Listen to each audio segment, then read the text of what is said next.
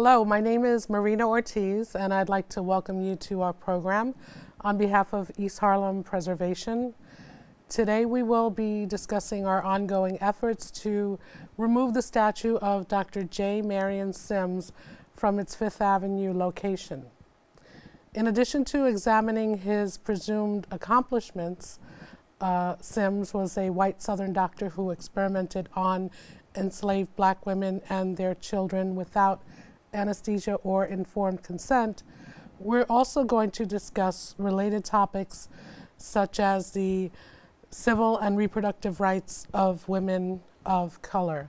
Our panelists today are Harriet Washington, author of Medical Apartheid The Dark History of Medical Experimentation on Black Americans from Colonial Times to the Present.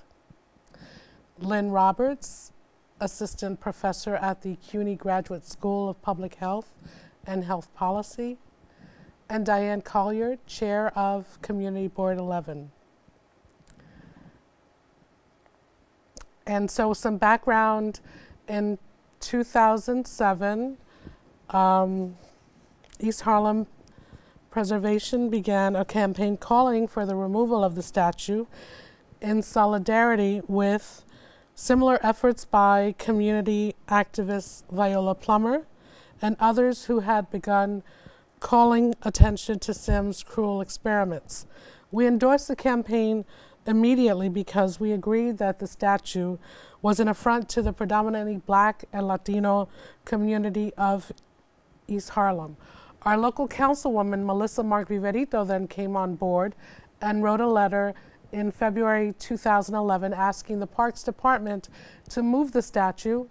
And in her letter, she said, quote, the statue serves as a constant reminder of the cruelty endured by women of color in our country's history.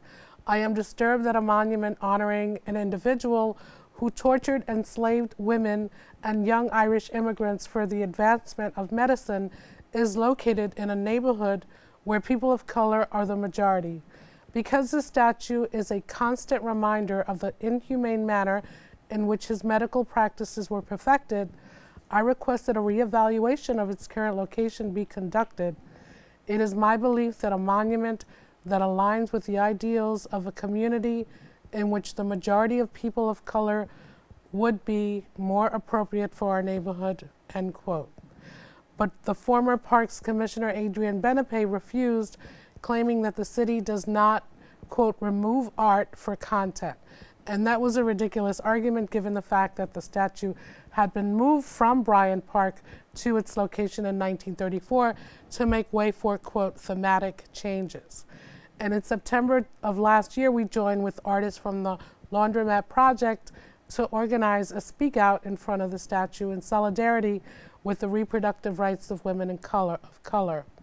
The event was held in front of the statue where speakers and artists honored their ancestors and condemned the continued assault on Black and Latina women.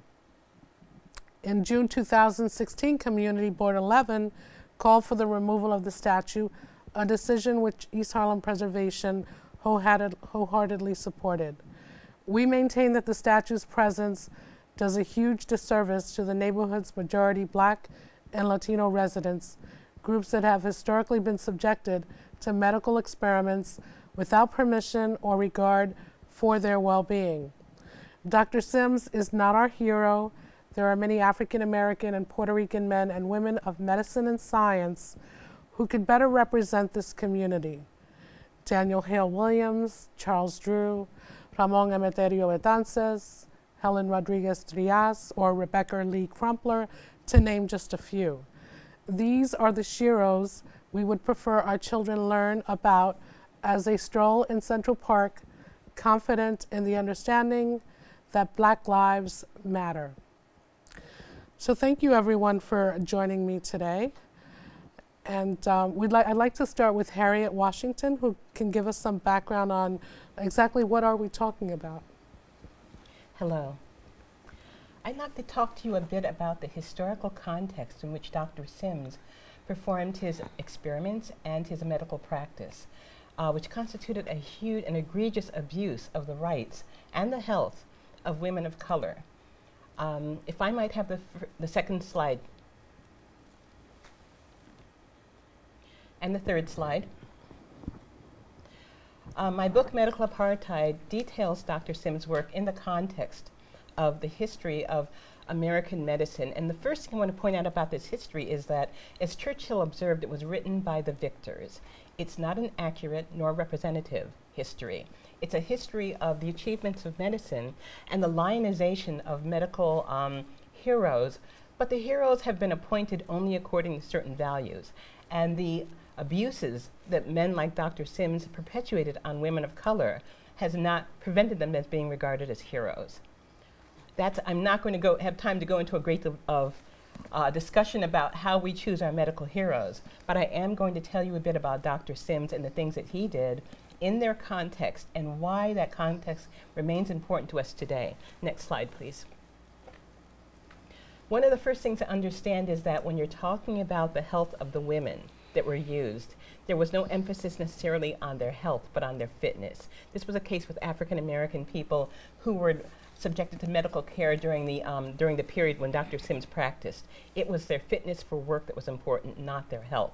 These women were un rendered unfit for work by their horrible condition, a condition which Dr. Sims ascribed to their being black women who were sexually profligate, because all black women were viewed that way, and who were dirty, because black people were viewed that way, and who um, were result of um, their practices but that's not true. These women had vesicovaginal fist fistula, a horrible condition uh, affecting the uh, reproductive tract and outer genitalia that was caused by enslavement. Their diet was extremely poor. It led to malnutrition, and specifically, it led to vitamin D deficiency or rickets, which caused their pelvises to be too small to admit the child for childbearing. It, they also had um, they also were subjected to childbearing three or four years earlier than white women because black women were encouraged to become mothers earlier. When they became mothers, they had children which, who also became slaves and added to the property of the owner. So these things um, to cause a higher rate of vesicovaginal fistula in black women. And when Sims essayed to cure it, he did not do it from, he would, of course, claim to do it out of concern for the women. But the reality is that if he were successful, he knew that that would make him a very successful surgeon, which indeed it did. After he was able to find a way to cure the, these fistula, he went to Paris where he became the personal physician of Empress Eugenie. He came to New York, where right across from where his statue sits now, he went to the Academy of Medicine, which he was, where he was a very influential member, used it as a bully pit to castigate his uh, political and medical enemies and eventually became the president of the American Medical Association. Now we think of him as the nation's father of American gynecology. But on what was his, um, you know, his laurels predicated? It was predicated on the savage abuse of enslaved women.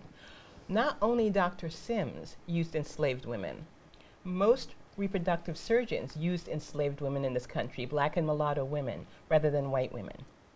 They did this for several reasons. One was convenience it was simply easier to use women who could not say yes or no. Once you procured the permission of their owners, you could do whatever you liked with them. And whatever they liked to do with them is exactly what happened. And then, of course, um, society in um, Alabama did not frown upon the use of these women. Frankly, um, I think for a lot of women, the prob- it was a zero sum game. There was knowledge that women were going to be used for these surgeries and other purposes. And, they, and everyone knew that if black women weren't used, white women would be used. That gave um, sort of um, a rationale, a reason for people to look the other way and not criticize them. However, the end result was that when Sims learned how to close a fistula, he closed one fistula in one woman and immediately decamped to, to find his medical glory. He didn't cure the other women, he left his assistant Daniel Bozeman to do that, and Bozeman complained bitterly about the fact that he immediately left without curing the women. Bozeman even accused Sims of having caused a case of vesical fistula. And I think it's really important to understand that despite um, the apologetic, the apologies proffered about Sims' practice, um, it was not courage nor it was uh, dedication that put these women on the surgical table. It was chattel slavery they had no choice. They simply could not say no as a white woman could. Um, I think it's also telling that um, after he had done all this, Sims had written in his own memoirs that um, he considered using anesthesia on the women, but didn't because it was not, quote, worth the attendant trouble and risk. Why? Why would you say it wasn't worth the trouble? Because he also writes that some of the slave women were in horrible pain, were screaming and crying in the aftermath of surgery. So why wasn't it worth the risk? Sims was not alone in harboring mythology about the bodies of black people, and one of the pertinent mythologies was that black people did not feel pain as whites did. That's why Sims could excuse not using anesthesia and not be subjected to an outcry. Now, one of the revisionist um, uh, courses uh, that has resulted is that I've read several articles, including one in the New York Times, that said that, well, back then what Sims did was considered acceptable. That's the way things were done then.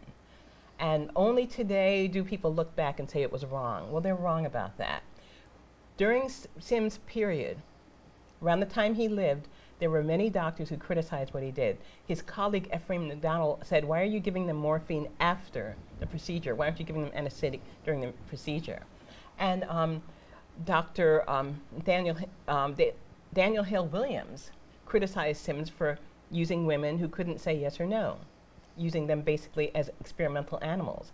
Although what's, he was a black physician, a black, very famous black heart surgeon. Interestingly enough, Dr. W. Montague Cobb, another black physician who was politically active, defended Sims. So as you can see, there was an active debate about Sims' practices even during the time when he was practicing. There was no mandate, there was no normalization during the time. People were aware that what he did was wrong. Sims knew it was wrong, I believe, because when he came to New York and he published his report about it, he said in the report that he had gotten the women's permission. That's his claim. But he also, in the report, illustrated the um, report with pictures of white women. And this artistic lie buttresses, I think, another lie that he told. I don't believe he made an attempt to get their permission. And the fact that he would offer that as a defense indicates that he knew it was wrong. He knew it was not accepted and normalized and, a, and the proper thing to do. Next slide, please. Next slide. Next. Thank you. So I mentioned um, scientific racism. Uh, one of the interesting things about the um, belief that black people don't suffer um, pain the same way whites do, as an excuse for not giving them anesthesia during the Victorian era, is the fact that that belief persists today. We see now today reports where black people have a very hard time, and Hispanic people, getting effective analgesia for disease and for conditions pharmacies in black and Hispanic neighborhoods are less likely to carry Schedule II drugs and other potent analgesics. So we have like a hangover of this belief. We still question the pain reports of black people. Next slide. Next. And um, one might well ask, during the Victorian era, when women were supposedly revered and pampered, how was it possible to abuse them savagely without anesthesia, you know, in a shack that, one, that you call the laboratory. Um, how would that be possible to abuse women in that way? The answer is that there were not just women, there were black women and white women, and they were treated and perceived very differently in the medical arena. Doctors saw these as very different women. Not only were there still many doctors who thought that blacks and whites occupied different species during that time, but also, whereas white women were considered so delicate and so um, so worthy of reverence that even being a doctor did not allow you to look at their unclothed bodies. On the right of this image, you will see the, a doctor kneeling, his eyes averted, as he uses his sense of touch to treat the woman. He was not permitted to look at her genitalia, even though he's a doctor treating her.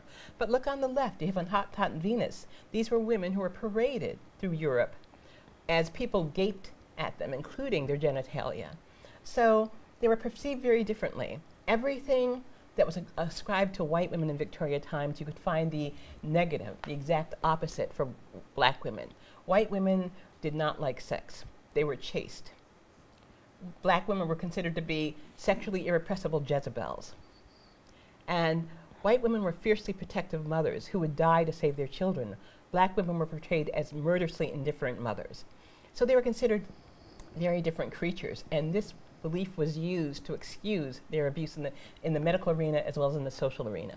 Next slide, please.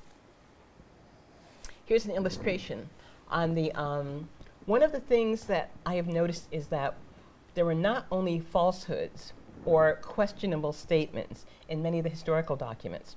But there are also questionable, um, in fact, outright lies, frankly, in a lot of the art that was used to illustrate. And this is important because medical doctors and uh, professors would read the medical journals, but common people didn't read medical journals. Many common people at this time didn't even read, but they would be swayed by art. So many of the portrayals, art portrayals would tell a story that vied with the truth. On the, the first two images here show Dr. Marion Sims in a painting by Robert Thom meant to lionize him.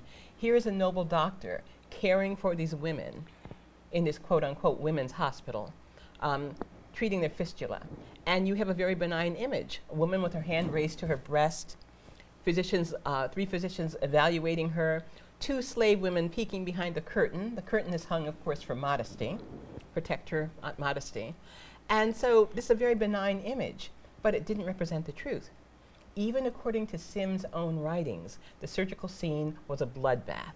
The woman was naked, and the two assistant doctors were not there to help with surgery, they were there to hold her down as Sims sliced through her genitalia. When they finally left, um, he had a hard time keeping assistants, um, to the women to restrain each other. Um, we also have a similar case with, um, I'm running out of time here, so I'll be brief, with anesthesia. There are people who say, well, Sims did not administer anesthesia, wasn't in wide use during that time, it could be dangerous. Well, Sims' own writing bel belies that, but there's also the fact that the history of anesthesia has been Bowdlerized. It has not been, it's been presented in um, not a less than forthright manner. When I was a fellow at Harvard Medical School, every day in the Countway Library, I looked at a picture, the first operation under ether. It portrayed the first procedure when ether was used, supposedly, but it didn't. There were people in that painting who were not there during that demonstration and there had, was a long protracted contest between three men, all of whom claimed credit. And it was a very political contest. The one that was backed by powerful institutions like Harvard won, but we're not certain that he was actually the first. So art is used very often for the, to persuade the populace of something that medically is not true. And since I've now run out of time, I'm going to end here. But I do want to say that we have not completely gotten over this history. There are still things being done to women and with women, and especially with women of color, that violate their dignity and their rights. Pelvic examinations are still being conducted by medical students on women who have been etherized, anesthetized for a procedure and never been asked their permission while they're out cold. Some new physician is learning how to do an exam by palpating her pelvic area without permission we have a law passed in 1996 which allows uh, medical research to be done on trauma victims without asking their permission or even telling them about it afterwards. So we have a long ways to go yet. Thank you. Thank you, Harriet. It's, um, it's horrific every, every time I read or hear about this. and unfortunately, today in this reality, we still have black and Latina women being abused in the medical profession even in emergency rooms um, to this day. So I want to turn to um, Professor Roberts Lynn, um, and how how does th these facts and this reality that we now live in, uh, with a new administration that I'm not going to dignify with a name or even a title, but um, we just had a march um, all across the country and the world and um, we still have to walk down Fifth Avenue and see something like that, being revered, a person like that. And you work with students. Can you tell me what this means for the reproductive rights movement and your work? Certainly, and, and thank you, uh, Harriet, for that illustrative um, background on, on J. Marion Sims. Um, your book, first of all, has been so instrumental in um, teaching public health students about the significance of both social determinants of disease that we talk about pretty readily in the field, but also the historical um, context of, of, what, specifically what racism has meant um, in, in medicine, in public health, in, in science more generally. And as someone who's um, worked in public health for some time, I have also embraced a framework um, for talking about these issues, um, which we call reproductive justice. And to give some background to that, reproductive justice is a framework that was first introduced um, by a group of African American women who were gathered in Chicago, Illinois back in 1994. Um, it was when healthcare reform was being discussed here, and it was also when folks, women um, rights activists, were gathering in Cairo, Egypt, um, to talk about um, population health and development. And some of those black women had been to the Cairo gathering, um, and then back in Chicago were saying, well, there's a whole lot we need to address um, concerning our domestic policies that aren't really meeting the needs of women of color. And they were looking for a way to articulate the needs of communities of color and the ways that they face sexual and reproductive oppression. And whenever I talk about reproductive oppression, which I define as the control and exploitation of women and girls and other marginalized individuals through our bodies, our sexuality, our labor, and our reproduction, I often start with the case of J. Marion Sims. It's hard not to. Um, as we know, um, and as you know, again, as Harriet you know really spells out in her, in her book and here with us now, um, you know, there's been this historical, um, and you can advance to the next slide actually, um, and the next one, um, thinking about um, the ways that we have positioned black bodies, black and brown bodies, um, other groups of color, indigenous people in this country. Um, from the forced breeding to the ex medical experimentation to children being removed from their parents, you know, during slavery, during chattel slavery, but also Native American children being forced to um, be sent to boarding schools to remove, quote unquote, the Indian out of them, um, up until present day where there's discriminatory practices around separation of children from their parents because their parents are poor, because they abuse substances, um, our coercive um, introduction of contraceptives to control uh, particular populations from, from expanding, from growing, um, you know, determining who should and shouldn't have children um, based on their age, based on, um, you know, factors that have nothing to do with their humanity and their right to bodily autonomy. So the, the key principles of reproductive justice are that um, every human being, it's always applied to intersectional analysis and, and a human rights you know, framework to, um, to policies here in the United States because often when we talk about human rights, people think of that as something that you know, is abused outside of the United States. Um, we know that to be false from its inception, but um, nonetheless, that's often how people view it. Um, but we think it is every individual's human right to decide if and when to have a child and the conditions under which they will give birth and create a family. To decide if they will not have a child and the means and options for preventing or ending a pregnancy. And this one, which often doesn't get thought of as a reproductive justice issue or right, is to parent the children we do want or already have in environments that are safe and healthy and without threat of harm or violence from individuals, organizations, or the state. Um, and last, um, the human right to bodily autonomy um, from any form of sexual or reproductive oppression. And that covers a whole lot of things um, that, again, I won't take all the time to go into of the examples from the fact that here in New York State, um, we've had to pass twice legislation to prevent the shackling of pregnant women who are under custody of the state. And even with those legislations, because it was passed first in 2009, and we had to fight to have it um, that even strengthened further um, in 2015, that it still has to be monitored to make sure that it still doesn't happen, even when there are laws passed to protect um, or prevent that from happening.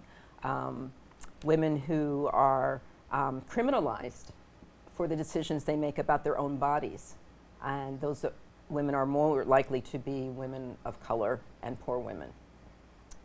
Um, so all of these um, issues, and even made even more real um, by the new administration and the conservative-led Congress, um, within less than a week, has already um, set back policies that have been in place over the past 40 years. But let me just point one thing out, because when we fight for certain things like um, every Supreme Court um, decision is usually around um, abortion, right? You want someone who's going to either be for or against it.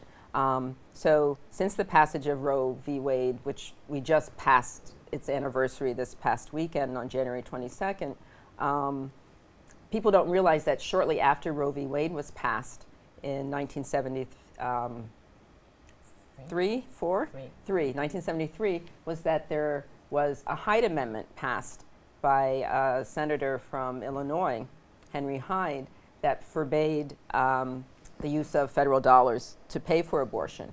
And a lot of people think that's poor women on Medicaid. well, it's not only poor women on Medicaid, it's women who receive their health care through the Indian Health Service.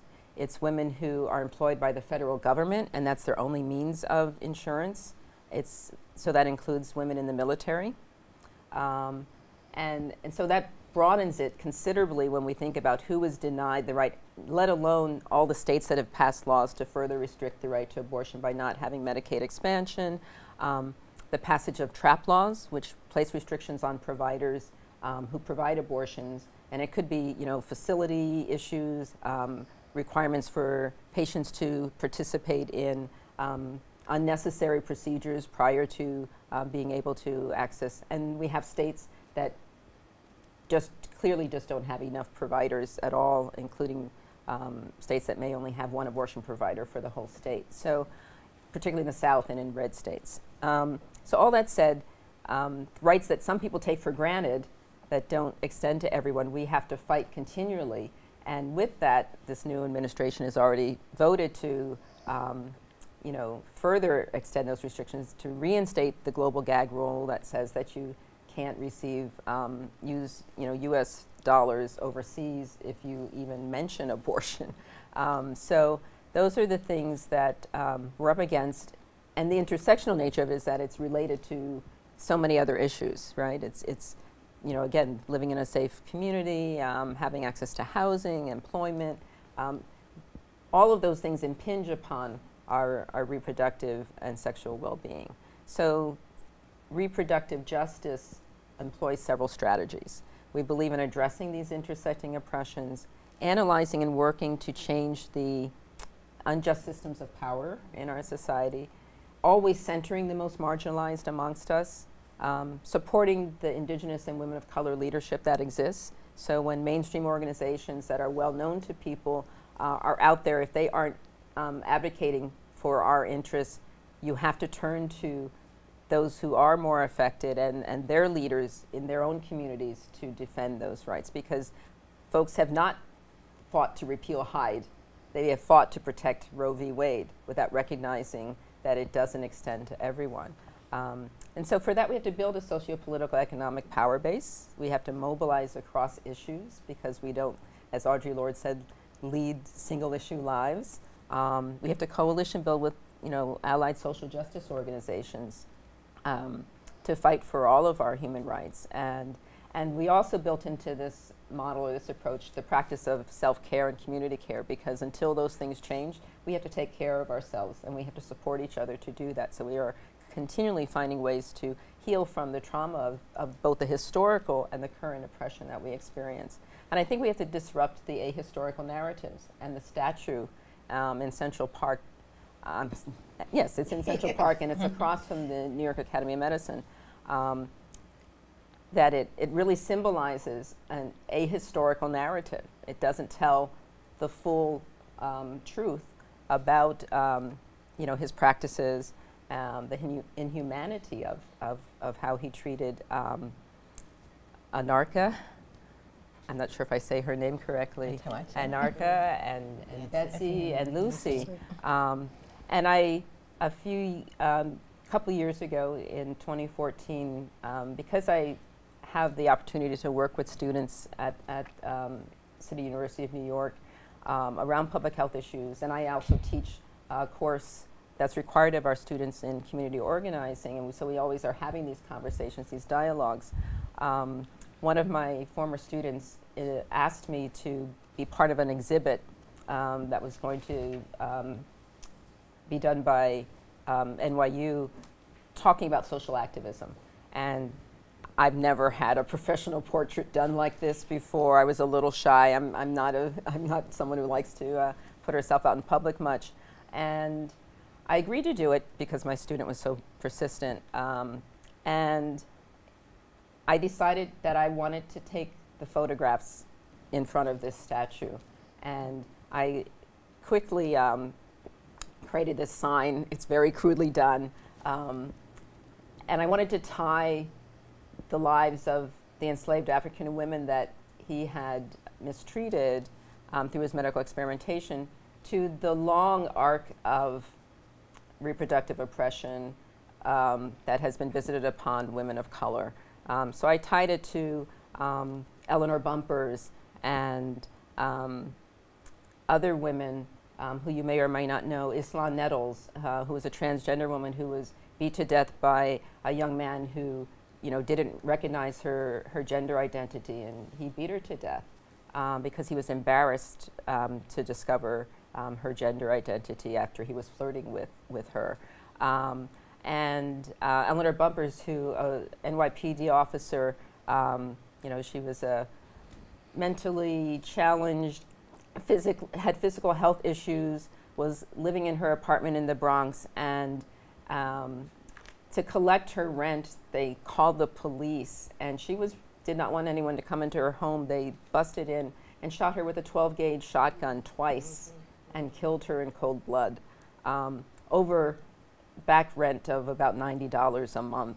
Um, you know, those types of things that disregard for, again, um, black women's bodies in particular is so egregious. And I feel that the statue of, of J. Marion Sims um, really set the stage for this legacy that has continued to the present. Um, when we think of the Sandra Blands and um, the women that don't even get recognized within the broader movement against police brutality often. We don't know their names as readily as a, as a Trayvon Martin, um, perhaps. Um, so I really tie together in my own work with students and my own activism, um, you know, this intersectionality of, of how um, until we regard um, women of color and put them, you know, at the forefront of much of our efforts to bring about, you know, equality for everyone, um, we, we really won't see a lot of changes. And tying it also, when we think of today's disparities um, in maternal and child health, um, you know, a, a, black woman in New York City is 12 times more likely um, to die in, in childbirth um, in New York City. Um, so, you know, that, those things are, are the work that we have to work to correct. And we correct that by really telling the truth about what has happened uh, historically and repeatedly um, over time. Thank you, Lynn. Yeah, and so um, it's, again, just every time I pass by, it's just crazy. And I connect also um, the treatment of the Puerto Rican community, Puerto Rican women. Yes uh, the whole uh, forced sterilization movement yes, and experimentation of the birth control pill was mm-hmm. first yes. done in Puerto Rico, and Absolutely. so there's you know it's it's just a historical yes. thing that we can all connect with and, and horrifying. And uh, so we've continued these efforts to have the statue moved. The community board has come on board officially uh, this year in June um, asking the city to remove the statue. And Diane, if you can tell us about that. Well, first of all, let me uh, say that I am truly honored today to be sitting with all of the ladies on the panel and for the work and their advocacy on this issue and many issues, social as economic injustices. So I'm truly honored, and certainly I wish I could speak as eloquently as you have about the issues, but I'm going to speak now a little bit more from the people's perspective because that's basically what the community board does. We are an advisory, we play an advisory role in particularly land use rezoning, which of course we all know about that's happening in East Harlem, but also the city budget and the services that are delivered to our people and many other issues related to the community's welfare. And this was one of the issues that we felt was clearly something that we needed to discuss. I'll give you a little timeline about how long this has taken. As Marina says, it started in 2007 and I believe also Charles Barron was on board with this, but at City Council, and there were just discussions going on. Then about 2011, as she pointed out before, that the uh, at the time the council person got involved with writing a letter. So therefore, the the advocacy became stronger at the board for us to start discussing it.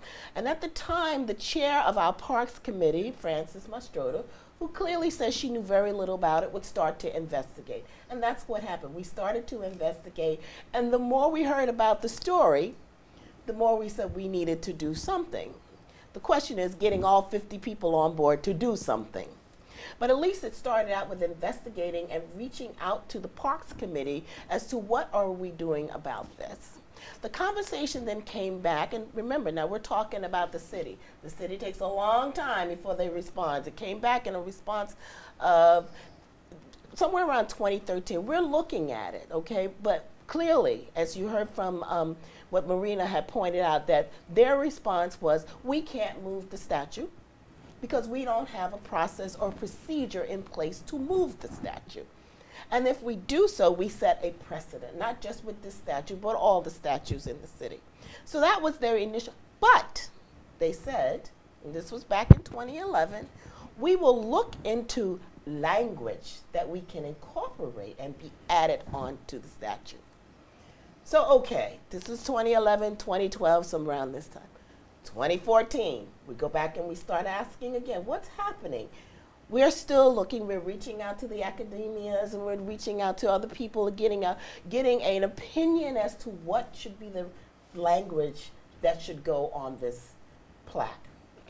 Okay, but that is not answering the question. And at the time, the board really hadn't taken a position. We were talking about it, but we hadn't taken a position that you could go back and refer to. So here we are, 2014. 20 fast forward 2016 i'm now at that point i'm the chair. I was the vice chair primarily there at the time before uh, january of 2016 i became the chair. And this came to us our attention in june of 2016 and they came back because they needed the board's approval or uh, approval of advisory role that the language that they wanted to put on the plaque needed to be approved by the community, the community. And for them to move forward to get the Public Design uh, Commission to agree to add it onto. They came back, and unfortunately, the um, Parks Committee couldn't come to a decision. And so that forced it at the point to the full board. So let's, let's rewind a little bit. What was this language? And pardon me, I'm going to go to my phone as to what was the language that they wanted to add. Now, mind you, they, they went to academias, they got opinions from other people. And let me just also say, because you can Google this, you can go back and search it. This seems to be the way that we in America approach these type of issues. When there was a major problem with slavery concerning institutions or the city, rather than correcting the situation, correcting it in history, we'll just add a plaque to the institution and incorporate the names of the people who were affected by it. I mean, you'll see it all over. You'll see it at Ole Miss. You'll see it even in Harvard. You'll see it even here in New York City. If you go down to Wall Street, they've got a, a, a, a historical marker depicting where the slaves were sold in Wall Street. So this is a typical reaction. Get it? You know, this is how we do things in America, rather than taking it away completely and starting all over again. So this is the this is what came back to us in terms of the language. This was what they had proposed on the plaque. The advances in women's history commemorated here resulted from experiments conducted on enslaved African American women in the 1800s. Annika, am I pronouncing her name right? No, Betsy, Lucy, and other women were denied their basic human rights. Their perseverance and bravery led to better treatments for all women with obstetric injury. We honor their lasting contribution to medical science. That was the first issue, the actual what was going on the plaque. The second was the placement of the plaque. Now, for those of you who have passed this, this monument, there's really no place to put this plaque except for at the bottom of the feet of the, the man himself. And the very optics of that made us completely say no. So we got into a deliberation at full board because at that point we had to deliberate because I wanted them to say either we take a position of yes or no, but we take a position. And that night we took the position of this plaque. We said no to the plaque and the placement of the plaque on the statue. And we also said, we reiterated what we have been talking about. We took a position that said, we would like you to remove the statue. If you read our letter, I, you know, it's on our website, but I can read a little bit. The last line of the letter says, we're not saying destroy the, the statue. We're not saying to remove it and do whatever you want with it. We're merely saying move the statue out of this community of color that is offensive to all of the women in this community. And so that's basically our position move the statue from the community. So here we are today in addition to what they had said they were going to do about putting the plaque on, which we have taken the position of no, they also indicated that they were going to include in the historical marker. As you know, most statues have a historical marker to explain who this statue is. They now have included these three ladies and the experimentation, the question of whether or not his experimentation was really worked for, uh, you know, in the, for the women. And so that one little part is there, okay? But the real issue is should we continue to honor an individual who clearly had committed atrocities against women? It's clear. In this progressive city, should we continue with this? And the, the question is can't we move it? Where can we move him? And I think that's the real thing that we should be trying to work towards.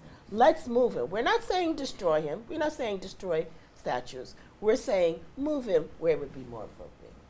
So this is where we are now. What are going to be the next steps? And I'm sure we're going to have a conversation about that. But from the community board perspective and this chair's perspective, we have now taken a position. This is our position. Move him, no plaque.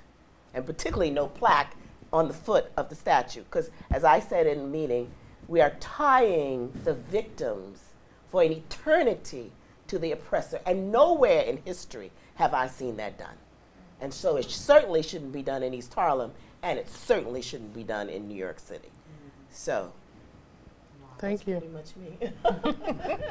It's, I, I was there that evening and I was just so moved by um, several young women, African American women, who gave really passionate talks, not members of the board, just women from the neighborhood who really encouraged the board to do the right thing, and you did, and continue to do, and we need to um, continue the pressure. Um, I recently learned that the uh, Academy, New York Academy of Medicine, is also supporting whatever the community wants. So we have the ammunition now to make this happen. It's not a, um, it's not impossible. The city's argument before was that, or and now is that they can't move, they won't censor, and again, it's not about censorship, but that's a contradiction because the statue was put there in the first place because folks near Bryant Park didn't want it. So you can just as easily take it somewhere else. The New York Academy of Medicine will respect our wishes, and um, the board is, you know, saying they don't want it. Uh, community activist Viola Plummer, who was moved by Harriet's work and, and medical apartheid, um, she began the petition in Harlem and East Harlem. We, we came on board and created an online petition. We have a page dedicated to this issue on our website, East Harlem Preservation. We continue to push this at every turn and every opportunity.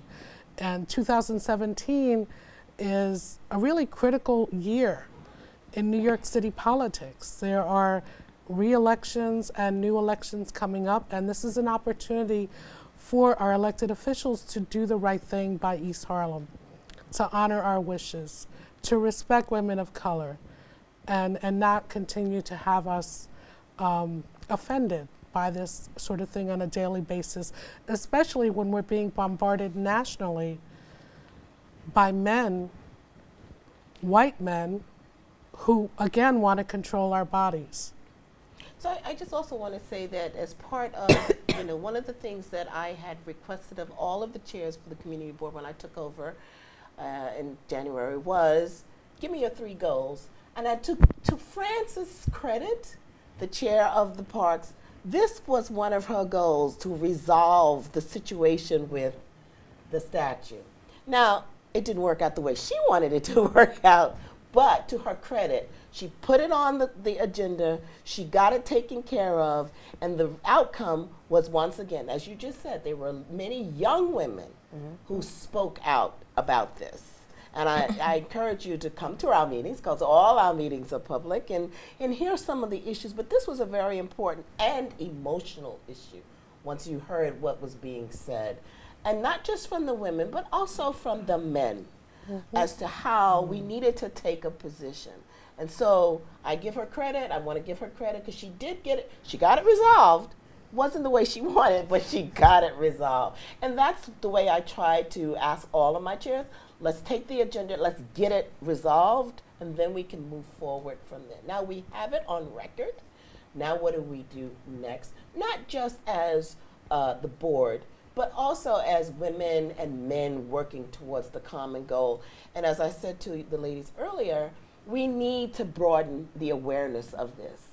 I think you stood out one day, you stood out one day, and a lot of women don't know who that statue is.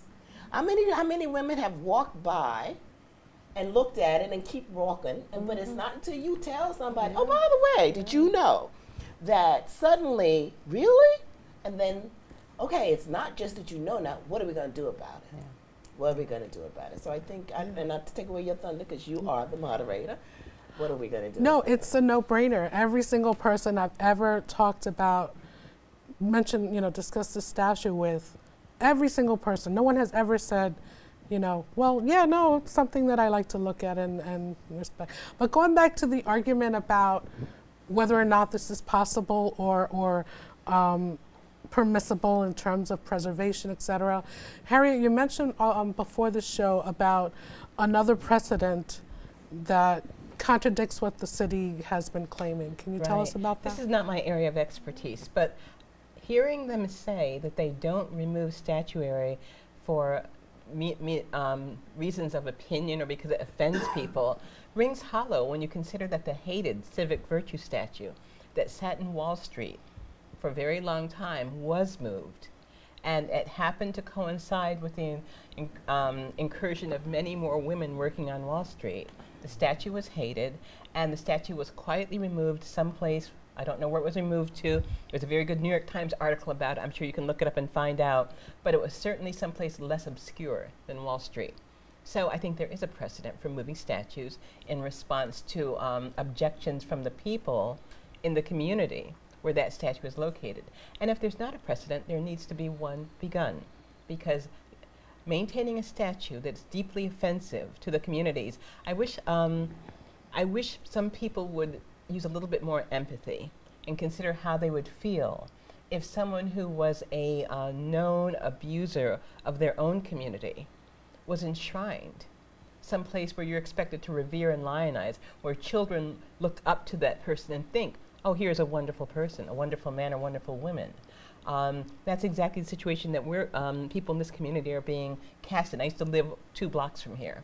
And I remember, um, as a matter of fact, when I was writing Medical Apartheid, when I first began the book, there was like almost, a lot of this history was completely ignored before I wrote it.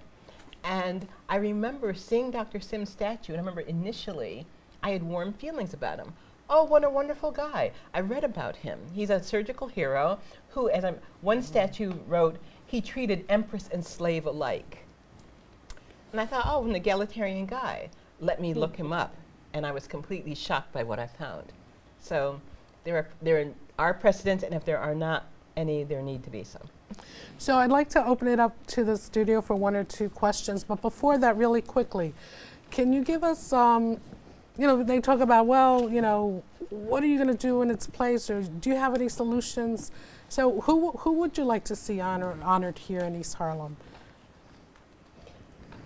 Oh, you Well, you- that, Well, you gave some wo- wonderful examples, and uh, I, I really have a lot of respect for um, Helen Trias Rodriguez for her work to fight against uh, the sterilization of, of Puerto Rican women, both on the mainland and here, uh, um, especially in New York, and the fight for the coalition of women um, who really turned back how we get consent for. Um, you know, procedures in general, but particularly around reproduction. And, um, and she was an activist and a physician. And so she's a role model, I think, for the, for the, for the profession of how, you, how those are intertwined, that to practice medicine, you know, whatever the, the Hippocratic Oath, you know, to do no harm, but also that you can embrace, um, you know, a social justice, human rights framework around um, providing that care. And if you're violating someone's human rights, then, then you are causing harm. And for that to be recognized, because that's what it's really about, you know, that, that this man is revered for, on the one hand, and that all the justifications for why the statue came to an existence in the first place is really a blemish on, on, on the profession as a whole um, that hasn't recognized that sooner. Um, that, that that's problematic, and I think she would be a wonderful someone to lift up. But I also would like to see the women themselves memorialized. Like the statue should be the women themselves Yeah. who were harmed. Um, and you know, we have a lot of mem- war memorials in this country around you know people who have either fought in wars or who have, have, have been the victims of, of you know various atrocities. But I don't think we lift up those who have really um, suffered the most. And I think thinking that it doesn't have to be a, a single um, solitary figure, some heroic figure, um, that we are a collective of humanity, and, and particularly, particularly women's work has usually been done by women working with other women uh, to bring about change. I agree. And um, there's actually, um, I think, uh, a proposal to, to honor uh, Lucy, Betsy, and Anarcha, but in Thomas Jefferson Park as part of a project that's being funded there. And I think that we can do both. We can honor our heroes and honor uh, women who, you know, had to endure uh, early practices. And Um, let us not forget it wasn't only those three women. Yes, right. on absolutely. Right, They were yes, they were the ones There was some a bevy that of happened women to get named, changing, yes. and you know, not to mention, you know, the scores of women, Right. You know, on whom these reproductive surgeries were practiced in general. Um, but you know, my, my choice would be, um, well, Arthur Schomburg, of course, has got the wonderful library, but I think he'd be a very, very suitable figure to be immortalized in this community. Also, May Chinn, uh, a w- wonderful black physician and cancer researcher who entered medicine when she was discouraged from her first choice of a career, classical music pianist. Uh, at Columbia, she was told that she would never be successful here unless she had the money to go to Europe. She'd never establish a career. So she went to medicine instead. But perhaps my best choice, and I think the most suitable person, we need a statue across from the Academy of Medicine to immortalize James McCune Smith, the first black person to earn an MD in this country. He had to go to Glasgow, Scotland to earn his MD because no medical school in the United States would accept him. He was valedictorian. And when I was in Glasgow, I would walk down the street. There's a cafe named after him. There are statues to him. Why don't we honor him here in this country? Why don't we honor him in New York City, where he practiced and lived, and where he applied to the Academy of Medicine, become a fellow, and was denied? They did not accept him. I think that that injustice needs needs to be rectified, and that would be the perfect place to rectify it. And when did he um, practice? When did he live? Uh, he lived. He was actually a contemporary of Sims. Uh, I believe he was rejected from the Academy of Medicine in 19. I'm sorry, 1847, a very portentous year. But um, so he was also a Victorian physician, a very, very successful one. He was an abolitionist. He was a he was um, everything. he published newspapers with Fred Douglass. He was a statistician who actually wrote tracts that would um, argue would basically show the falsity of a lot of the research into black inferiority. A very important medical figure who has been, you know, very soundly ignored in this country.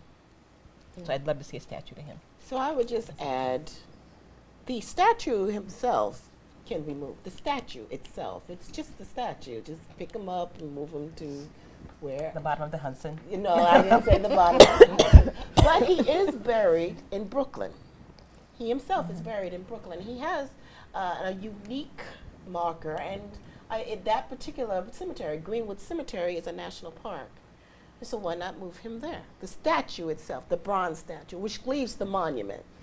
In its place, I think, and I've said this before, put a silhouette of a woman. I didn't say any woman, but a silhouette of the woman. The monument itself can be resurfaced and start to put the names of some of the women and men who, who really contribute to science. It's like a wall of women contributors to science and medicine and wh- whatever we choose to do. And this way we start to acknowledge some of the women, and it, like you said, there's so many unnamed, unrecognized. Harriet Lacks, the, you know, all Henrietta these women, Lacks. Henrietta Lacks, all these women who contribute somehow to science but never got recognized. And I think that would be a nice way of changing that statue area and putting women into the into Central Park because there are no female statues right now in Central Park. Thank you. We are almost out of time, so unfortunately, we won't be able to take uh, questions from the audience. But I do want to encourage people to um, pick up Harriet's book, to visit eastharlempreservation.org. Just click on the statue, and just we've been monitoring and documenting all of the coverage that has come out since the publication of your book. And um, Harriet, can you tell us more about where we can find out about your work? Oh, well, um, this book is exactly 10 years old this month. Um, All right. And it's available everywhere in paperback. You can't buy a hardcover anymore. You know, those are long gone. Um, and so it is, um, of course, being 10 years old, it's, you know, not timely, one would think, but it's a work of history. It's a work of neglected history. Unfortunately, I'm sorry to say that, th- you know, there haven't been any follow-ups in terms of com- comprehensive treatments, but there have been really good smaller treatments. Um, I want to recommend especially Dorothy Roberts' book, excuse me, which had a 20th anniversary edition, Yes. uh, just you know recently published. Body. Um, Killing the Black Body, very important book. It details uh, black women's reproductive health issues, um, political issues. So. Great. And um, Lynn, um, in a few seconds, can you tell us what you're up to next? or- Sure. If you'd like to um, learn more about uh, reproductive justice, you can, of course, Google it, but I guess I will make a shameless plug for um, Sister Song, um, Women of Color Reproductive Justice Collective. You can www.sistersong.net. And also, I'll announce that um, the founding national coordinator of Sister Song, Loretta Ross, and, and myself, and, and three others, um, Whitney Peoples, Erika Derkas, and um, the now um, posthumously uh, Pamela um, Bridgewater, who have co-edited a forthcoming anthology on reproductive justice called Radical Reproductive Justice, and it has a subtitle which uh, I uh, Well, thank would like to know coming out um, Feminist Press in January 27, 2018. So look forward to that. Well, thank you. Thank you, everyone, for joining me, and um, to be continued. Thank you, Maria. Thank for you you. very much. Great.